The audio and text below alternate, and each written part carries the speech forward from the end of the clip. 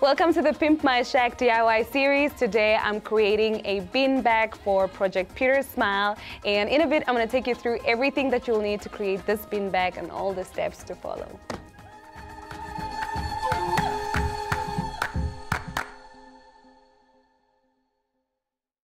So what you'll need for this DIY is some shredded mattress right here. You will need some fabric. I advise you to use the fabric that is easy to maintain, that is good wear and tear. I chose um, pleather because this material, you can clean it easily, you can use it inside and outside because I wanted uh, to give the family that flexibility. And then you will need some thread. I chose a color that matches the fabric because then um, your seams are seamless. and then you'll need a cutting tool, a scissor here, um, as well as a pencil. The reason why I need both the scissor and a pencil is because I'm gonna backstitch. So I'm manually stitching this because the reality is not all of us own sewing machines. So yeah, here goes nothing. so first off, you want to determine the size of your bean bag. I decided to go for square and I'm going for about a meter uh, by meter on each side. So I flipped the material. So this is actually the front side of the material and this is the flip side of it. So I just took two meters and I flipped it all the way into the middle as you can see here. Give me a second.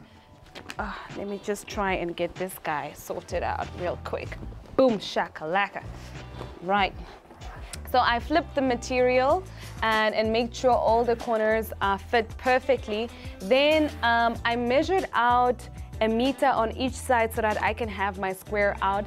Then I use a ruler and a pencil just to mark out the line in which I'll be stitching. Now, the reality is if you want your beanbag to be about a meter, you need to just cut at least about a meter, like let's say five centimeters extra or 10 centimeters extra. This just allows you to have space for your seam because you can always cut the excess material off.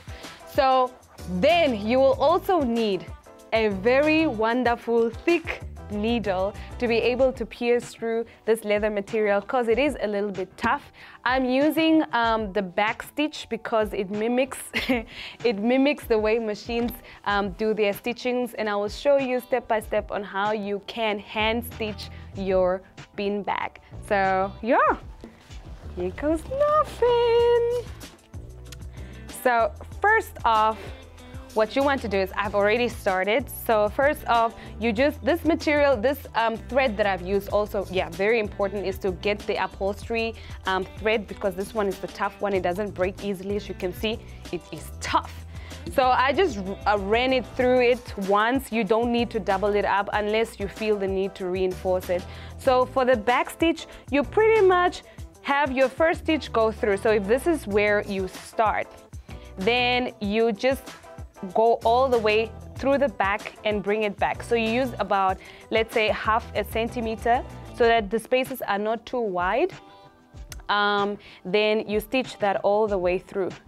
Then you just continue the same pattern, trying to maintain the same size so that the stitch work is secure. There you go. Dun, dun, dun. This is very time consuming, so I would advise you do this whilst watching your favorite series, you know, maybe, or perhaps maybe have some people that will tell you nice stories and stuff because it can take quite a while if you want to do it properly.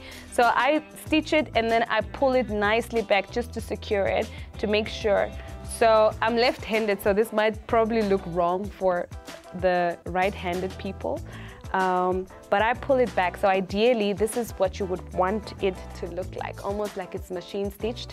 And if you look at it on the flip side, it really looks wonderful. And the reason why I flip it is eventually I'm gonna flip it inside out and then sew all the way through all the corners. So I'm gonna sew this way through, that way through, all the way to this side.